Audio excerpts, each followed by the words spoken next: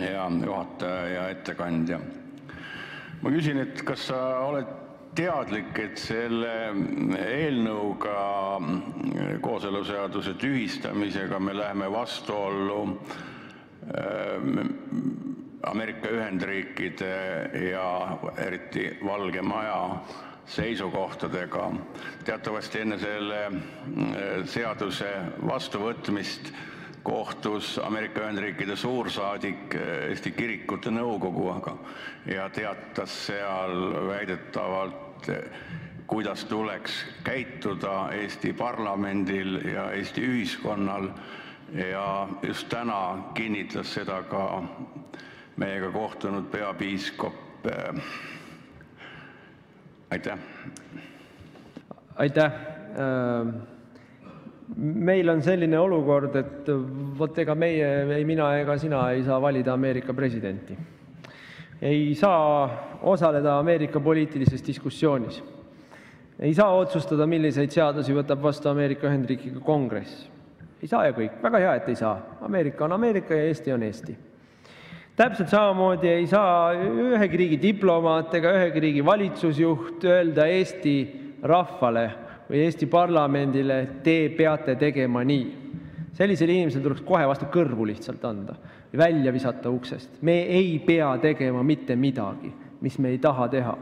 See on puhas suveräänsuse küsimus, see on ka väärikuse küsimus. Muidugi me teame, et sellel nii-öelda homoideoloogia kandjatel väärikust ei ole, aga, aga meil on, meil on väärikus ja me leiame, et Eesti rahva väärikust tuleb ka kaitsta.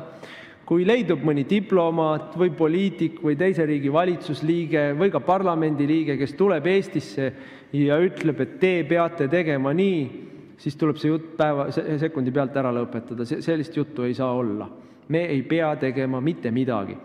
Meie peame, meie siin saalis Eesti Riigikogu liikmed peame tegema seda, mida me oleme lubanud oma valijatele. Vot seda me peame tegema. Mida me oleme lubanud oma valijatele, seda me peame ellu viima, vähemalt üritama ellu viima, sest noh, me saame aru, et opositsioonis olles oma programmi täiel määral ei ole võimalik mitte kuidagi ellu viia. aga vot seda me peame tegema. ja Eesti rahvas ei pea üldse mitte midagi tegema, mida ta ei taha teha, vaid öö, otsustab ise, mismoodi ta oma elu korraldab. nüüd öö, loomulikult ma, ma elan ka päris maailmas ja saan aru, et Eesti kui väikeriik, mis on suures osas panustanud nii oma majandusedu kui ka julgeoleku ju noh, nii-öelda liitlastele, ikkagi reaalpoliitikat silmas pidades peab kuulama vähemalt seda, mida liitlased tahaksid, et me teeksime. Sellest ma saan aru, sellest ma saan aru. Minu nagu nurin Eesti praegustele juhtidele, nii presidendile kui välisministrile kui peaministrile kui kõigile teistele on see, et nii palju, kui mina olen aru saanud, ei ole tehtud mingitki katset liitlastele seis, selgitada meiepoolseid seisukohti, meie huvisid kui ükskõik millal sa istud väliskomisjonis ja kuulad Välisministeeriumi siis nii-öelda jutupunkte sellest, kui me läheme ühele, teisele, kolmandale suurele kohtumisele, koosolekule, istumisele, et mis on Eesti seisukohad, siis alati Eesti seisukohad on teha nii nagu teised. alati. Eesti Välisministeeriumi ainus ülesanne on välja peilida see, mida teised meist tahavad ja siis müüa see maha Eesti avalikkusele ja Eesti parlamendile ma kunagi töötasin Välisministeeriumis aastatel 1995 kuni 2000. No, siis me veel ei olnud nii globaliseerunud riik, nagu me tänapäeval oleme.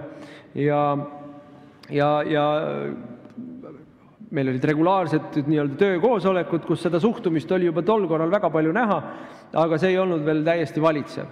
ja minu küsimus iga kord oli, et oot-oot-oot, mis see meie asi on, mida teised tahavad, et me teeme, meie asi siin majas praegu on välja nuputada, mis on Eestile kasulik ja üritada see maha müüa teistele ehk selgitada oma nii-öelda liitlastele ja selgitada oma sõpradele, et see on see, mis on Eesti huvides. alati ei ole võimalik seda saavutada, aga vähemalt peaks üritama. see haakub sama teemaga, mis puudutab meie nii-öelda ajalugu. kui, kui, kui siin oli on nii-öelda pronkssõduri teemad olnud üleval ja siis kogu aeg on ju olnud ka olemas see seltskond Eestis, kes räägib, kuidas meie lääne sõbrad ei mõista meid. no pagan võtaks, siis on see meie asi neile selgitada. see on meie asi selgitada meie keerulist, mitmekihilist, väga traagilist ajalugu, et nad mõistaks meid. ja, ja tulla rääkima, et üks või teine lääne poliitik või diplomaat kangesti tahtis, et me käituksime nii tore, tore, et tahate, tahtmine on taevariik. meie asi on neile selgitada, et ei, me nii ei tee või ei, me nii ei saa või selleks puudub ühiskondlik heakskiit või selleks puudub siseriiklik vajadus. Noh, see, on iseseisva riigi tunnus, kui sa niimoodi käitud. jah, loomulikult kõik riigid, kõik mõistlikud riigid edendavad oma huve oma liitlaste juures, käivad ja üritavad neilt välja pinnida või, välja kaubelda mingisugust tegevust või käitumist, mis on neile kasulik või mis haakub nende arusaamisega maailma asjadest. see on täiesti normaalne, nii käibki elu maailmas. aga see, kus muutub asi häbiväärseks ja piinlikuks, on see, kus tulevad meie enda poliitikud ja hakkavad Eesti rahvale rääkima, kuidas need ja teised tahavad, et me nii teeksime. sellega, see on, see on nagu mitmekihiliselt alatu. esiteks sellega sisuliselt üritatakse hiilida ja, ja lükata vastutus kellegi teise kaela omaenda eesmärkide realiseerimisel. Üritatakse sedasama kooseluseadust Eesti avalikkusele pähe määrida jutuga, et muidu ameeriklased ei toeta meid, muidu Euroopast raha ei saa, muidu ei, ma ei tea, Itaalia lennukid ei tule siia, mis on kõik täielik jama, täielik jama. seda räägitakse selle jaoks, et ei peaks sisepoliitilises diskussioonis tegelikult argumenteerima oma eesmärke. Et, saaks nagu lükata vastutuse kellelegi teisele, ehk siis needsamad poliitikud, kes meile räägivad seda, kuidas, kuidas survet avaldatakse ja me peame nii tegema, üritavad pugeda selle taha, et keegi teine tahab, et me nii teeksime.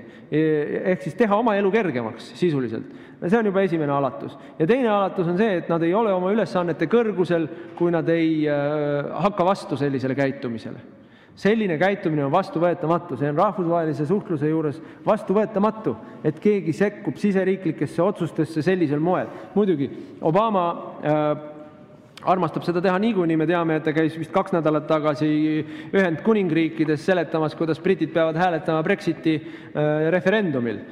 noh, me teame Obama edukust oma, oma suurte eesmärkide mahamüümisel, kui ta käis Kopenhaagenis mingisuguseid kliimapakette maha müümas, siis see lõppes katastroofiga, kui ta käis ma ei mäleta, kus ta käis lobi tegemas selle jaoks, et olümpiamängud läheksid Ameerikasse, siis see oli suur katastroof, nii et meil on olemas ees väike muster, mis ennustab, et kui Obama juba millegi eest võitleb või millegi kasuks räägib, siis tulemus on vastupidine, nii et minul Brexiti suure fännina on, on, on jälle lootus kasvanud selle võrra, et Obama käis Inglismaal inglastele ütlemas, kuidas te peate tegema, sest et Inglismaal on väga tugev traditsioon selle nii-öelda suveräänsuse ja, ja iseseisva otsustamise küsimuses ja demokraatliku otsustusprotsessi küsimuses.